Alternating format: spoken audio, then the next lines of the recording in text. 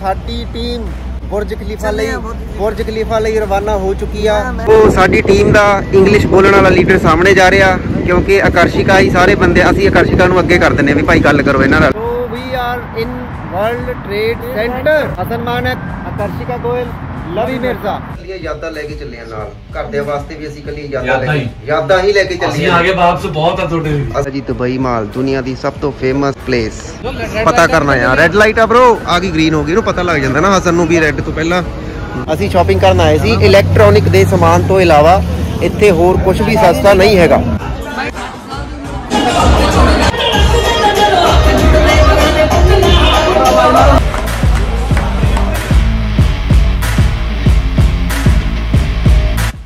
Khalifa ਜਾਣ ਦੀ ਤਿਆਰੀ ਵਿੱਚ ਬੈਠੇ ਦੋ ਨੌਜਵਾਨ ਗੱਭਰੂ। ਉਹ ਸਾਡੀ ਟੀਮ ਬੁਰਜ ਖਲੀਫਾ ਲਈ ਬੁਰਜ ਖਲੀਫਾ। ਲਈ ਰਵਾਨਾ ਹੋ ਚੁੱਕੀ ਆ।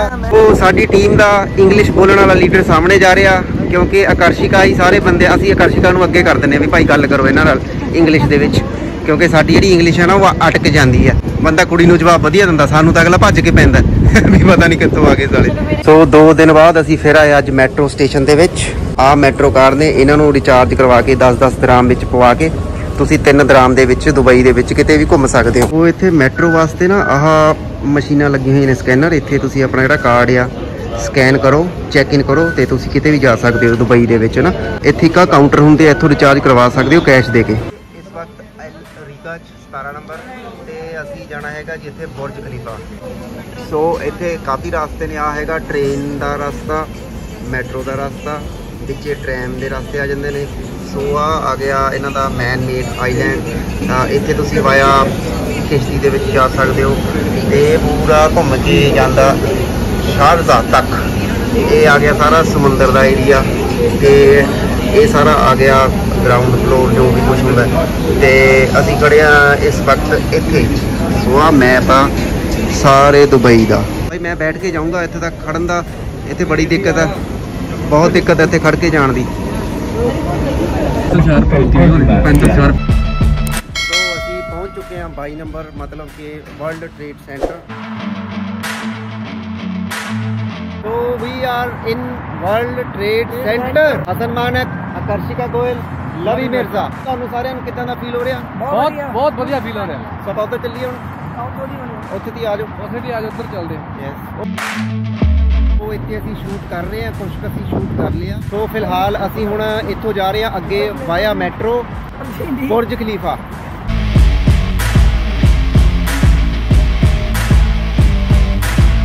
ਤੁਸੀਂ ਦੇਖ ਸਕਦੇ ਹੋ ਮੇਰੇ ਸਾਹਮਣੇ ਹੈ ਇਸ ਵਕਤ ਦੁਨੀਆ ਦਾ ਸਭ ਤੋਂ ਫੇਮਸ ਦੇਖਿਆ ਹੋਣਾ, ਜਿੰਨੇ ਵੀ ਲੋਕ ਦੁਬਈ ਆਉਂਦੇ ਨੇ, ਇੱਥੇ ਆ ਕੇ ਜ਼ਰੂਰ ਫੋਟੋ ਖਿਚਵਾਉਂਦੇ ਨੇ। ਸੋ ਤੁਸੀਂ ਦੇਖ ਸਕਦੇ ਹੋ 360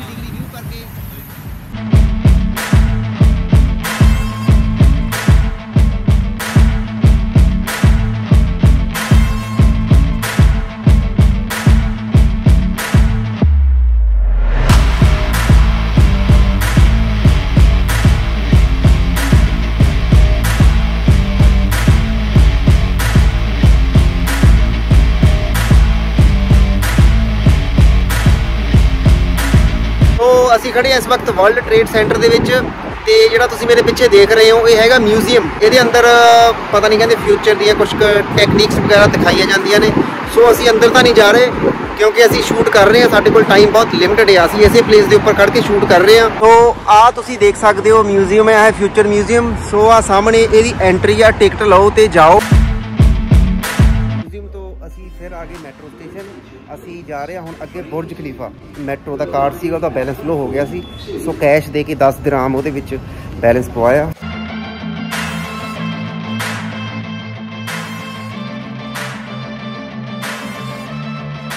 ਮੇਰੇ ਸਾਹਮਣੇ ਦੇਖ ਸਕਦੇ ਹੋ, ਬੁਰਜ ਖਲੀਫਾ ਦੀ ਬਿਲਡਿੰਗ ਦੇ ਕੋਲ ਅਸੀਂ ਪਹੁੰਚ ਚੁੱਕੇ ਹਾਂ। ਸੋ ਆਹ ਬੁਰਜ ਖਲੀਫਾ ਦੇ ਆਸ-ਪਾਸ ਦਾ ਮਾਹੌਲ ਆ।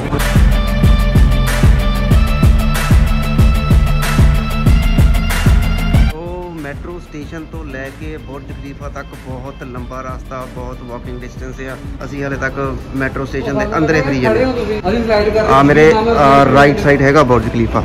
ਉਹ ਦੁਨੀਆ ਦੀ ਸਭ ਤੋਂ ਉੱਚੀ ਬਿਲਡਿੰਗ ਲਗਭਗ 15 ਤੋਂ ਲੈ ਕੇ 20 ਮਿੰਟ ਹੋ ਗਏ ਮੈਟਰੋ ਸਟੇਸ਼ਨ ਦੇ ਅੰਦਰ ਤੁਰਦਿਆਂ ਨੂੰ। ਹਾਲੇ ਤੱਕ ਅਸੀਂ ਐਗਜ਼ਿਟ ਨਹੀਂ ਹੋਏ। ਵੀ ਫਿਰ ਵੀ ਬਹੁਤ ਲੰਬਾ ਡਿਸਟੈਂਸ ਆ।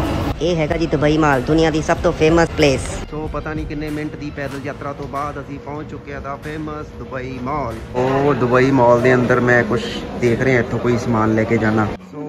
ਸਮਾਨ ਲਿਆ ਮੈਂ। 250 ਦਰਾਮ ਦਾ ਬਾਰਗੇਨਿੰਗ ਚੱਲ ਰਹੀ ਹੈ 400 ਮੰਗ ਰਿਹਾ ਸੀ। 250 ਦਰਾਮ ਦੇ ਵਿੱਚ ਫਿਕਸ ਕੀਤਾ ਸਾਰਾ ਕੁਝ ਸੋ ਇੱਥੋਂ ਮੈਂ ਕੁਝ ਕੁ ਯਾਦਗਾਰ ਚੀਜ਼ਾਂ ਲੈ ਲੀਆਂ ਆਪਣੇ ਸਟੂਡੀਓ ਤੇ, ਘਰ ਦੇ ਵਿੱਚ ਸ਼ੋ ਪੀਸ ਰੱਖਣ ਵਾਸਤੇ। ਸੋ ਬਾਰਗੇਨਿੰਗ ਚੱਲ ਰਹੀ ਹੈ ਭਰਾ ਨਾਲ। ਸਲਾਹ ਕਰ ਰਹੇ ਨੇ ਵੀ 250 ਦੇ ਦੇਣਾ ਸਮਾਨ ਕਿ ਨਹੀਂ। ਸੋ ਦੁਬਈ ਮਾਲ ਤੋਂ ਹੀ ਅਸੀਂ ਵਾਪਸ ਜਾ ਰਹੇ ਹਾਂ। ਹੋਟਲ ਵੱਲ ਟਾਈਮ ਘੱਟ ਆ ਸਾਡੇ ਕੋਲ ਤੇ ਅਸੀਂ ਸ਼ੂਟ ਕਰਨਾ। ਸੋ ਬੁਰਜ ਖਲੀਫਾ ਅਸੀਂ ਨਹੀਂ ਜਾ ਰਹੇ। ਸੌਰੀ ਆ ਉਹਦੇ ਲਈ ਤੇ ਅਸੀਂ ਜਾ ਰਹੇ ਹਾਂ ਡਾਇਰੈਕਟ ਟੂ ਹੋਟਲ ਵੱਲ ਕਿਉਂਕਿ ਉੱਥੇ ਸਾਡੇ ਕੋਲ ਨਾ ਅੱਗੇ ਇੱਕ ਹੋਰ ਲੋਕੇਸ਼ਨ ਤੇ ਜਾਣਾ, ਉੱਥੇ ਅਸੀਂ ਸ਼ੂਟ ਕਰਨਾ। ਸੋ ਇੱਥੇ ਬੁਰਜ ਖਲੀਫਾ ਕਾਫੀ ਦਿੱਕਤ ਹੈ ਸ਼ੂਟ ਕਰਨ ਦੀ। ਫ੍ਰੀ ਮਾਈਂਡ ਹੋ ਕੇ ਤੁਸੀਂ ਸ਼ੂਟ ਨਹੀਂ ਕਰ ਸਕਦੇ। ਸੋ ਅਸੀਂ ਹੁਣ ਵਾਪਸ ਜਾ ਰਹੇ ਹਾਂ ਦੁਬਈ ਮਾਲ ਦੇ ਵਿੱਚੋਂ ਕੁਝ ਕੁ ਸ਼ਾਪਿੰਗ ਕਰਕੇ।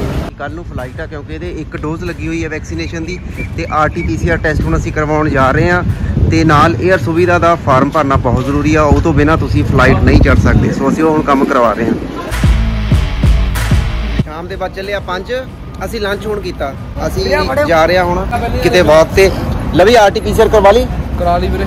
ਕਰਵਾ ਲਈ ਆਰਟੀਪੀਸੀਆਰ 5 ਵਜੇ 4 ਵਜੇ ਸੈਂਪਲ ਦਿੱਤਾ ਰਾਤ ਨੂੰ 10 ਵਜੇ। ਰਿਪੋਰਟ ਮਿਲੂਗੀ ਪਲੱਸ ਬਾਕੀ ਜਿਹੜੇ ਸਾਡਾ ਗਰੁੱਪ ਸੀਗਾ ਜਿਨ੍ਹਾਂ ਦੇ ਦੋ ਵੈਕਸੀਨੇਸ਼ਨਾਂ ਲੱਗੀਆਂ ਹੋਈਆਂ ਨੇ ਉਹਨਾਂ ਨੂੰ ਆਰਟੀਪੀਸੀਆਰ ਦੀ ਕੋਈ ਲੋੜ ਨਹੀਂ।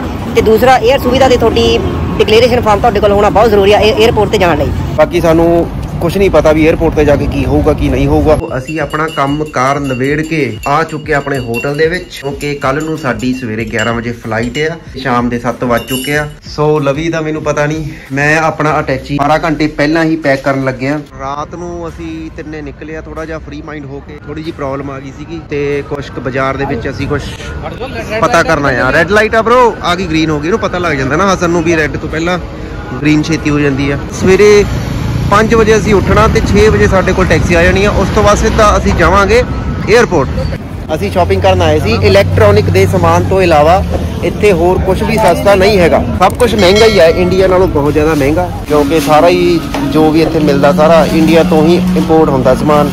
ਅਸੀਂ ਹੁਣ ਚਾਕਲੇਟ ਵਗੈਰਾ ਦੇਖਣ ਆਏ ਆ। ਇਹ ਵੀ ਇੰਡੀਆ ਲਈ ਨੇ ਭਰਾਵਾ। ਅਸੀਂ ਕੱਲੀਆਂ ਯਾਦਾਂ ਲੈ ਕੇ ਚੱਲੇ ਆ ਨਾਲ। ਘਰਦਿਆਂ ਵਾਸਤੇ ਵੀ ਅਸੀਂ ਕੱਲੀਆਂ ਯਾਦਾਂ ਲੈ ਯਾਦਾਂ ਕੇ ਹੀ। ਯਾਦਾਂ ਹੀ ਲੈ ਕੇ ਚੱਲੇ ਅਸੀਂ ਆਗੇ ਵਾਪਸ ਬਹੁਤ ਆ ਤੁਹਾਡੇ ਲਈ। ਅਸੀਂ ਆ ਗਏ ਉਹੀ ਬਹੁਤ ਹੈ ਉਹ ਰਾਤ ਦੇ 12 ਵੱਜ ਚੁੱਕੇ ਆ ਤੇ ਸਿਮਰਤ ਵੀਰਾ ਸਾਨੂੰ ਅੱਧੀ ਰਾਤ ਨੂੰ ਹੋਟਲ ਚੋਂ ਕਿਡਨੈਪ ਕਰ ਲਿਆ। ਇਹਨਾਂ ਨੇ ਸਾਨੂੰ ਕਹਿੰਦੇ ਡਿਨਰ ਕਰਨਾ ਆਪਾਂ ਰਾਤ ਨੂੰ। ਭਾਜੀ ਤੁਹਾਡਾ ਬਹੁਤ ਬਹੁਤ ਥੈਂਕ ਯੂ ਤੁਸੀਂ ਸਾਡੇ ਲਈ ਟਾਈਮ ਕੱਢਿਆ। ਨਹੀਂ ਨਹੀਂ ਤੁਸੀਂ ਸਾਡੇ ਲਈ ਕੱਢਿਆ ਸਰ ਜੀ। ਤੁਹਾਡਾ ਨਾ ਤੁਸੀਂ ਕੱਢਿਆ। ਅਸੀਂ ਤਾਂ ਮਿੰਟਾਂ ਕੀਤੀਆਂ ਬਹੁਤ ਭਾਈ ਸਾਨੂੰ ਮਿਲ ਲਓ। ਨਹੀਂ, ਨਹੀਂ, ਨਹੀਂ, ਆਪਣਾ ਨਹੀਂ। ਟਾਈਮ ਦੇ ਦਿਓ। ਨਹੀਂ ਨਹੀਂ ਨਹੀਂ ਨਹੀਂ। ਅਸੀਂ ਤਾਂ ਵਿਹਲੇ ਸੀਗੇ ਸੋ ਭਾਜੀ ਆਪਣੇ ਸ਼ਡਿਊਲ ਦੇ ਵਿੱਚੋਂ ਟਾਈਮ ਕੱਢ ਕੇ ਸਾਨੂੰ ਮਿਲੇ। ਆਪਾਂ ਪਹਿਲੀ ਵਾਰ ਮਿਲੇ ਆ ਪਹਿਲੀ ਵਾਰ ਨਹੀਂ ਮਤਲਬ ਕਿ ਇੰਡੀਆ ਤੋਂ। ਇੰਡੀਆ ਤੋਂ ਬਾਹਰ ਪਹਿਲੀ ਵਾਰ ਮਿਲੇ ਆ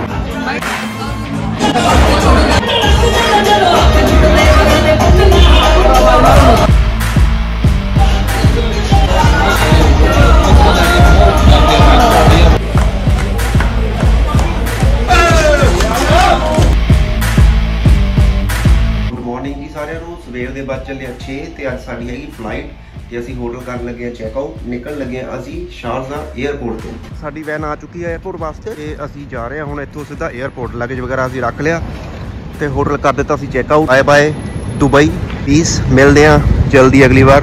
ਅਗਲੀ ਵਾਰ ਜਲਦੀ ਆਵਾਂਗੇ, ਜ਼ਿਆਦਾ ਦਿਨਾਂ ਲਈ ਆਵਾਂਗੇ, ਜ਼ਿਆਦਾ ਫਨ ਕਰਾਂਗੇ, ਜ਼ਿਆਦਾ ਕੰਮ ਕਰਾਂਗੇ। ਫਿਲਹਾਲ ਆਪਣਾ ਜਿਹੜਾ ਦੁਬਈ ਟੂਰ ਵਲੌਗਸ ਸੀਗੇ, ਉਹ ਆਪਾਂ ਇੱਥੇ ਖਤਮ ਕਰਦੇ ਆਂ ਕਿ ਮਿਲਦੇ ਆਂ ਜੀ ਤੁਹਾਨੂੰ ਜਾ ਕੇ ਹੁਣ ਇੰਡੀਆ ਇਹ ਉਮੀਦ ਕਰਦੇ ਆਂ ਇਨ ਫਿਊਚਰ ਵੀ ਆਪਾਂ ਵਧੀਆ ਵਧੀਆ ਇੰਟਰਨੈਸ਼ਨਲ ਟਰੈਵਲ ਦੇ ਵਲੌਗਸ ਲੈ ਕੇ ਆਈਏ। ਸੋ ਫਿਲਹਾਲ ਦੁਬਈ ਦਾ ਸਫ਼ਰ ਇੰਨਾ ਕੁ ਹੀ ਸੀ। ਓਕੇ ਬਾਏ ਆਕਰਸ਼ਿਕਾ ਆਪਾਂ ਮਿਲਦੇ ਆ ਇੰਡੀਆ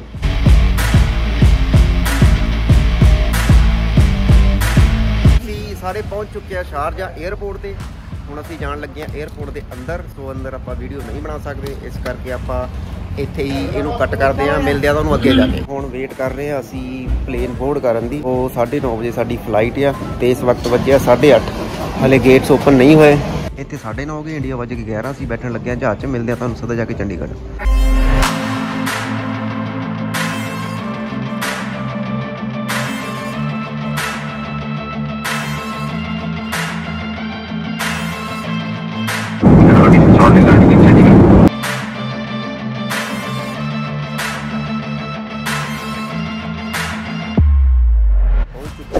ਚੰਡੀਗੜ੍ਹ 에ਅਰਪੋਰਟ ਤੇ ਇੱਥੇ ਤੱਕ ਦਾ ਸੀਗਾ ਸਾਡਾ ਸਫ਼ਰ ਜਿਹੜਾ ਵੀ ਤੁਸੀਂ ਜਿੰਨਾ ਵੀ ਸਾਡੇ ਦੁਬਈ ਵਲੌਗ ਦੇ ਟੂਰ ਨੂੰ ਦੇਖੋਗੇ ਮਤਲਬ ਕਿ ਪੂਰੀ ਇੱਕ ਸੀਰੀਜ਼ ਹੈ। ਤੇ ਬਸ ਇਹ vlog Dubai travel vlog series ਨੂੰ ਆਪਾਂ ਇੱਥੇ ਖਤਮ ਕਰਦੇ ਹਾਂ। ਉਹ ਬਾਕੀ ਤੁਸੀਂ ਸਾਡਾ ਜਿਹੜਾ ਚੈਨਲ ਆ ਸਬਸਕ੍ਰਾਈਬ ਕਰ ਲਓ ਤੇ ਮਿਲਦੇ ਆ ਬਾਕੀ ਅੱਗੇ ਨਵੇਂ ਵਲੌਗਸ ਦੇ ਨਾਲ। ਸੋ ਹਿੰਦੀ ਭਾਜੀ ਮੋਗਰੀ ਭਾਜੀ ਉਹ ਤੁਸੀਂ ਯਾਰ ਫਰੇਮ ਗਲਤ ਫਰੇਮ 'ਚ ਖੜੇ। ਸੋ ਤੁਹਾਡਾ ਬਹੁਤ ਬਹੁਤ ਸਵਾਗਤ ਆ ਦੋਨਾਂ ਜਾਣਿਆਂ ਦਾ। ਸਤਿ ਸ੍ਰੀ ਅਕਾਲ ਜੀ। 에어ਪੋਰਟ ਤੋਂ ਲੈ ਕੇ ਆਏ। 에어ਪੋਰਟ ਤੋਂ ਲੈਣ ਆਏ ਸਰ। ਤੁਸੀਂ ਲੁਧਿਆਣੇ ਤੋਂ ਆਏ ਸਾਨੂੰ ਲੈਣ। ਸਪੈਸ਼ਲ ਵੱਡੇ ਮਾਨ ਸਾਹਿਬ ਵੀ ਆਉਂਦੇ ਆ।